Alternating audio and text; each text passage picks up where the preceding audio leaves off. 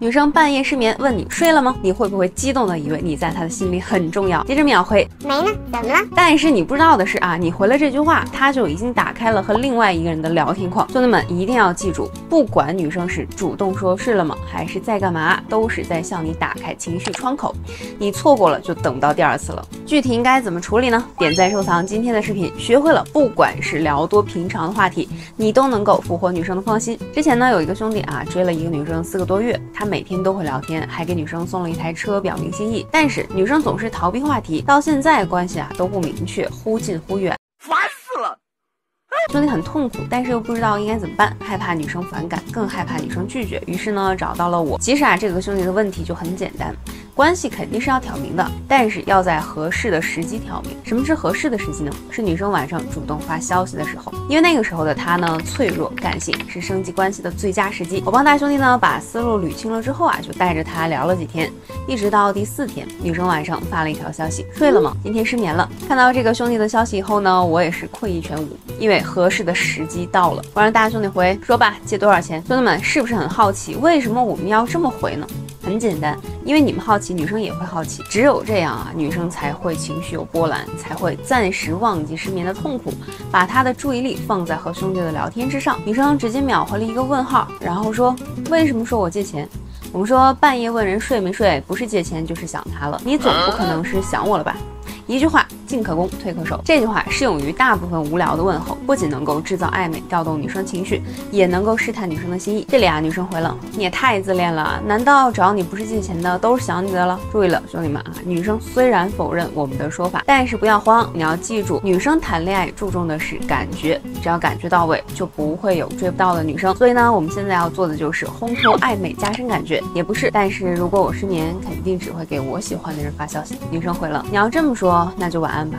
好，试探的结果很明显，女生选择了不面对。那既然她要逃避，那我们也撤退。行，那下一次这种群发的消息，麻烦别选我了哈。兄弟们一定要学会适可而止。女生迟迟不正视我们的测试，不面对这个兄弟的感情，那就适可而止。我当然不是让你们放弃啊，而是以退为进，化被动为主动，让女生着急，让女生去解释。果然女生秒回，什么群发呀？我只是觉得你睡得比较晚，而且我们又是朋友。才想着找你聊聊天。好了，女生确实解释了，但是这个答案你们满意吗？反正我是不满意。一边解释一边呢，用朋友两个字来模糊和兄弟之间的关系，就说明这个是女生的一个陷阱。如果换做大兄弟自己去聊呢，那肯定就是直接变成了真正的好朋友。可是啊，这次这个兄弟他不是一个人在战斗，我们直接回朋友，那还是别找我，我没有深更半夜陪朋友失眠的习惯。工欲善其事，必先利其器。我们想要和女生真正幸福的在一起，坚定有原则的态度就是我们的利器。这次呢？女生过了十几分钟才回，我感觉你今天不对啊，你之前从来都不会这样说话，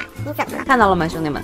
但凡刚刚有一次妥协，女生都不可能主动的关心大兄弟。但是你千万不要认为这个就是胜利的曙光啊，因为现在这个女生的关心只是出于礼貌，大兄弟对她多好，她心知肚明，所以现在的示弱更像是烟雾弹，为她自己打掩护而已。我把这些给大兄弟讲明白了以后啊，大兄弟才安心的把下一句话发给女生。我们说的是，我是觉得挺没意思的，知道你睡眠不好，特地。把你的消息强提醒，你却认为是我睡得晚，对你的百般照顾，万事顺从，你却认为是朋友之间该做的。我们先把女生的不作为摆在明面上，让女生的心理直面和大兄弟的感情问题。过两分钟我们继续说。现在看来我没必要继续了，放过你，你也放过我自己。大兄弟看到这句话很着急，他说：“不是说今天是机会吗？为啥还要放弃了？”我直接告诉他：“先等几分钟，真的没结果呀，你再着急也不迟。”过了十多分钟之后呢，女生发来了这么一条消息：“我一直都不知道你对我很好。”也很珍惜我们这份感情。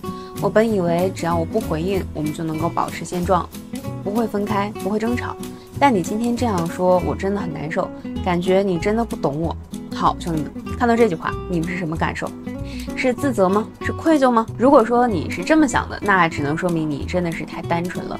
女生这么说呀，确实是在向你表达自己没有安全感，确实是想要让你更加懂她，但是更多的依然是逃避，还是不想直面感情。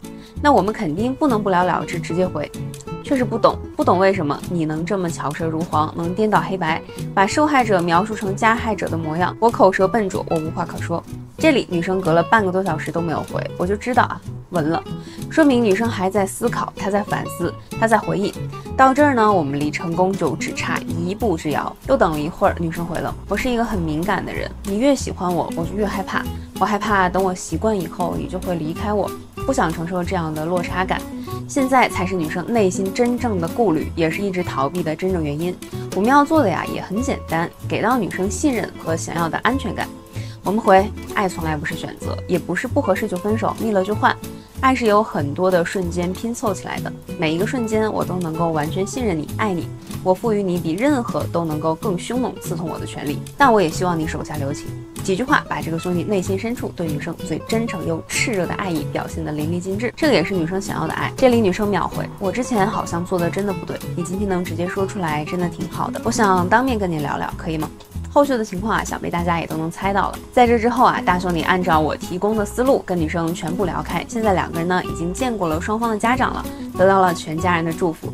所以当女生主动找你的时候，就是你升级关系最好的时机。如果你想学习跟女生聊天的技巧，想吸引生让她倒追你，或者有恋爱追女生相亲挽回方面的情感问题需要帮助，那就添加我的微信 c x x 五三八八，我来帮助你。如果心情不上，请看我最新视频的结尾，即可的最新联系方式。拜拜。